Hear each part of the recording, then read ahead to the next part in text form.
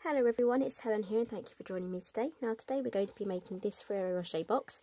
It's a tray that slips out of an acetate covering and it's going with a lovely pink and um, black theme there with the stripes. I absolutely love that look. And we're also going to be using um, some gold heat embossing and some watercolouring. Now I'll quickly show you the box that these Ferrero Rochers came in. It's quite nice but I think I prefer my one. Okay, so you're going to be needing a piece of acetate sheet, I'll give you the measurements of those in a minute. Some black cardstock, so I've got one for the tray and one we're going to be doing some die cutting on that one. And so I've got some watercolour paper here. Um, if you have Stampin' Up! Shimmery White, that would work as well because we're going to be doing some watercolouring. And a piece of Whisper White cardstock. Um, it has extra smooth surface there so that when we do our stamping for the stripes as well. So I'll show you the stamp sets. We're going to be using my all-time favourite, which is Birthday Blooms and the diagonal stripe as well. Okay, so we're going to start off with our scoring first. Okay, we're going to take our cardstock that measures eight and a half by three and a half. Grab our stylus and we're going to score at one inch on all four sides.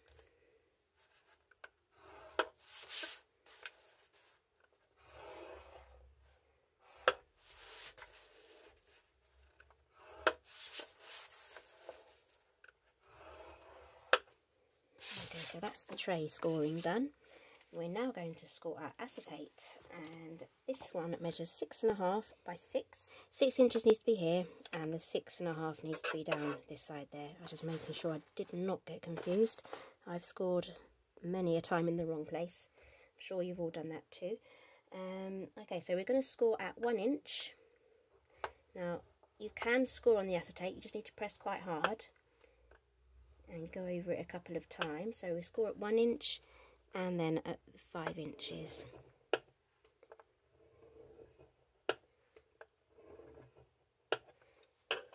Okay, that's that one done. And then we're going to score this one after we've done our stamping. So we will have to get the scoreboard out again. Okay, so now we're going to fold we're going to fold in the direction that we actually scored it in. normally I would fold it the other way, um, but in this case I'm going to go with the score line. And to get that started off, you just need to find the fold where it is and then press it gently at first, just so that it kind of gets the idea of what it's supposed to be doing. So now it's done that, we can then grab our bone folder and then score along there. We'll do the same on the other side. It's sorry if it's really hard to see. This is see-through, so it kind of looks like I'm playing with something invisible. Actually, it's picking up quite well on camera, but to the naked eye, it does actually look like I'm playing with nothing. Okay, so then we get the bone folder again. And press that down. Okay, so that's our top bit done. So let's make our box. Crease all the corners down. This is uh, Stampin' Up Black. I do like the Stampin' Up Black cardstock. It's a very black black. Um, I do have other brands of black. Quickly show you. There you go, this is the difference. This one's not as black. It's just a different shade. So yeah, I do like the Stampin' Up Black. Okay, that's all creased off. Now we're going to cut into our sections there. I'm actually cutting off completely the score line. So when I pull that off, the score line is in within that little piece there. So repeat that on all sections. Just trimming off the other end as well so our box goes together quite nicely. So there'll be no pieces sticking over the top when we assemble it together.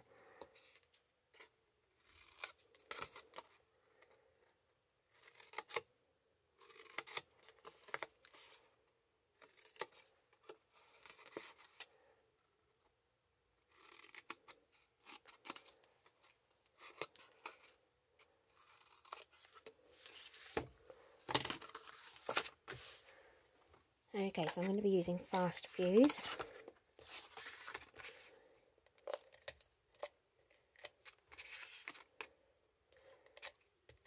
As you can see, I'm going quite close to the uh, score line, but not actually on the score line.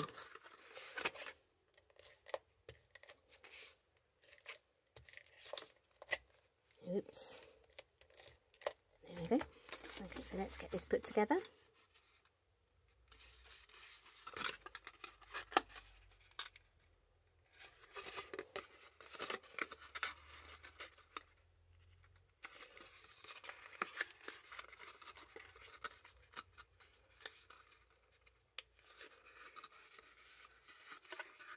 Okay, so that's our tray made. Now moving on to our image now. So we grab that out. We're going to be using this one. The other flower is really pretty, but it's just too um, too big for this box. Okay, so you're going to need some Versamark here and some gold heat embossing powder. And your embossing buddy which is an anti-static powder.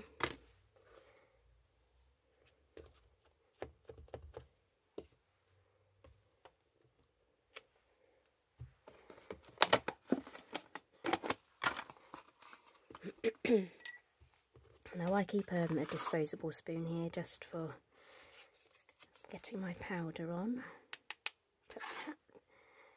Don't worry about that little section there if you do get any extra bits because we're going to be trimming it out. Okay, so I'm going to put you guys on pause for a second while I heat my tool up and I'll be back in one moment. Okay, I'm all preheated.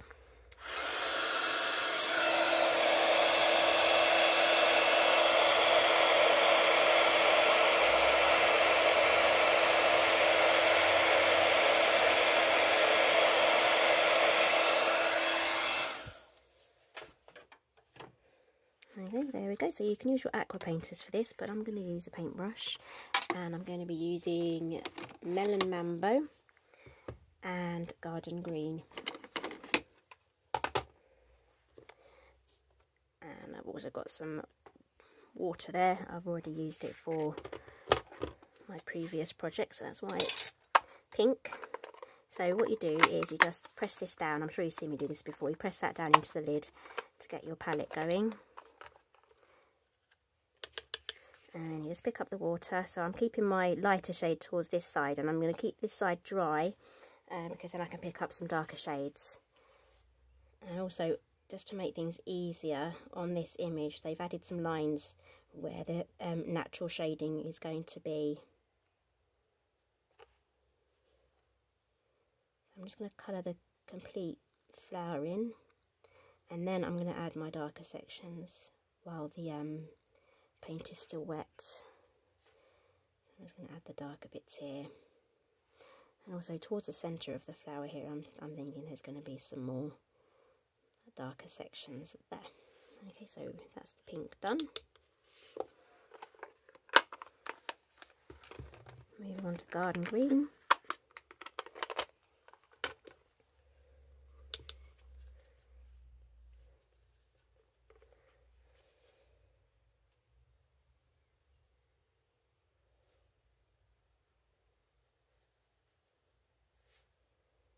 Can also use your blender pens for this as well if you like a little bit more control. Okay, so I'm going to take some of the darker sections now and just add it in parts of the leaves and then on the stem as well.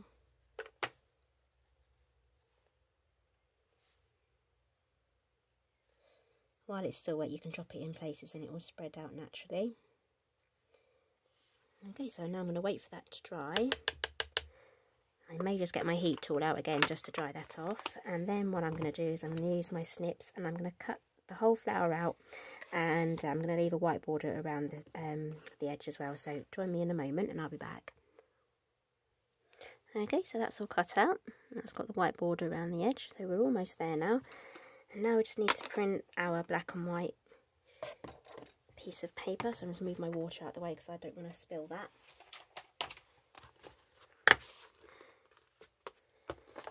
I'm just going to lay that down there. And I'm going to use my new favourite black ink, which is Versafine Onyx Black.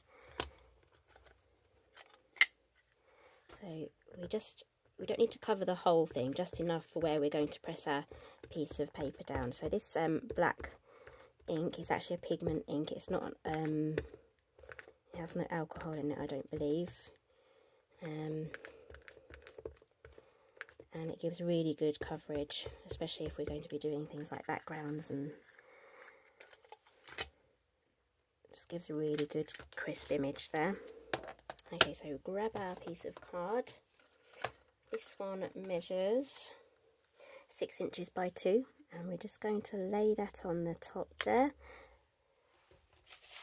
Grab a scrap piece of paper and then press down and rub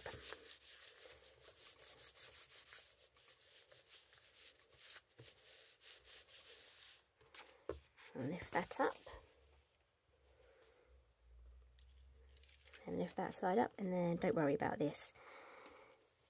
It doesn't have to look perfect. If you do want it to look perfect just do it again and just make sure you press down on the edges and then you can clean that off as you normally do. I'll just um, attack it with a baby wipe and now I'm just going to quickly grab my heat tool again just to um, get that to dry because it's a pigment ink it will take a little bit longer to dry than the archival stuff. And grab my scoreboard again. And then we're going to score this at one inch and five inches. So it's the same score lines as the piece of acetate that we did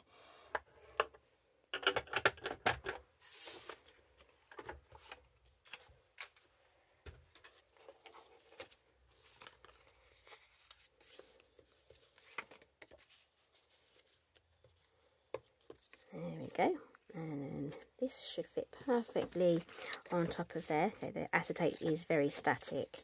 So you probably find bits bits of fluff and dust stick to it. So right I'm going to use fast fuse again to get these sections together. Oh I need a base piece. I'll be right back. Okay so I've quickly cut myself a piece. I knew I'd forgotten something. So this one measures six by one and a half, sorry, six and a half by one and a half, and it completely is the same size as the bottom of your box. So that's what we're going to be sticking this to. So on the inside, just take your fast fuse or another tape runner that is incredibly strong um, I haven't tried wet glue on this, so if you do experiment, let me know how it goes. So just line it up into the, the crease there and then try not to let it slip. And then press that up, just like so. That's our first section done, and now we do the same on the other side. It's a little bit more fiddly because sometimes it might stick to where you don't want it to stick. Uh, just try your best. I'm sure with a bit more practice you can get this down. I'm just going to line up that edge there. There we go. And now we can add this one on, so exactly the same bit of fast fuse on each side. Try and get the middle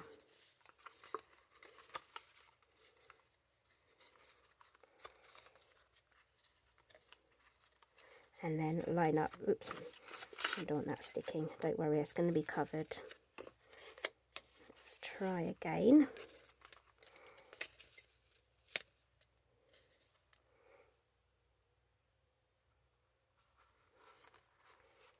There we go. Don't beat yourself up if it's not lined up perfectly. And then just get that pressed down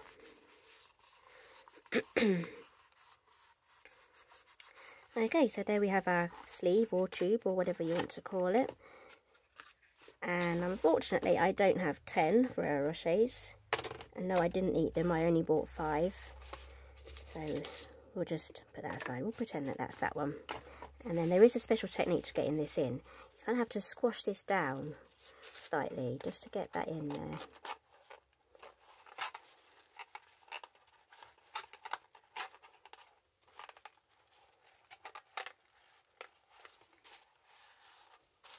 There we go, and that slips in perfectly, just like that. Okay, so now we just need to make, I mean, that looks nice just like that without the sentiment. Um, yeah, I quite like that, but I'm, I'm going to show you how to do the sentiment. Sticking with the same stamp set, we're going with Birthday Blooms again, and we're going to be using For You. Uh, I wish they'd do one that says For Me. I like Ferrero Rochers. Grab that on there. Um, I may have to do some funny tricks because I've put the sticker on that one. Where's my piece of paper? Okay, so I've got another piece of Whisper White here and I'm going to try and use this stamp without it being backed onto my block using the VersaFine as well.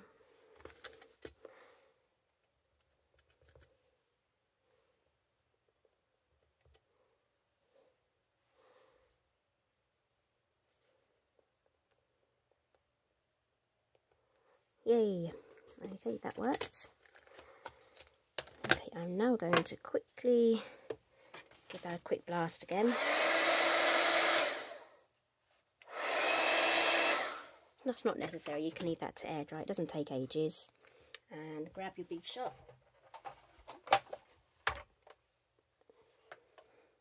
Try not to knock everything off the table. I have got my magnetic platform down and I'll be using the oval dies from Tonic Studios. Now these come with a scalloped edge as well.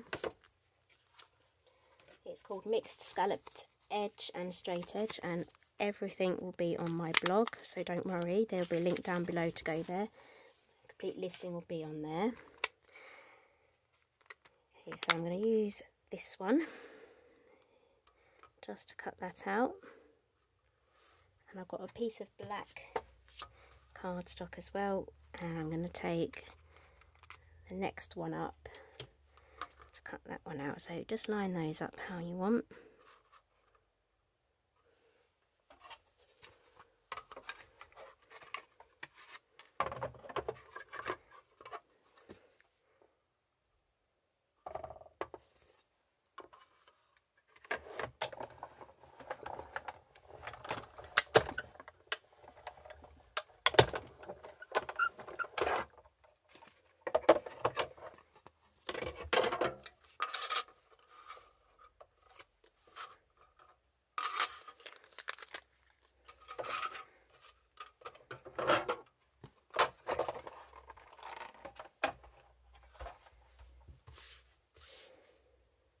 Grab your adhesive. I have smudged that slightly, but never mind.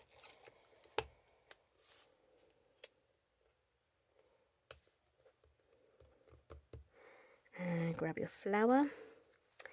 Um, I'm going to stick that on just like that. I'm going to use a bit of Tombow for that one.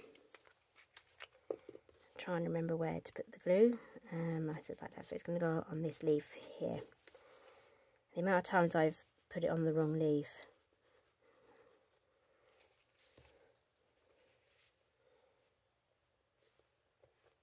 Okay, so it is slightly different to this one. And then we're going to add some more Tombow here, just along there. And then add that onto the top. And there we go. That's my Ferrero Rocher project for today and if you'd like to join me in my next video I will be making a matching birthday card with the same theme going there. So um, if you don't want to miss that one please subscribe down below. If you like this video please give me a thumbs up. Um, I really do enjoy the Ferrero Rocher um, videos. And if you would like some more leave me a comment down below and then I'll get busy um, designing those for you. Okay so thank you for joining me today and I'll see you next time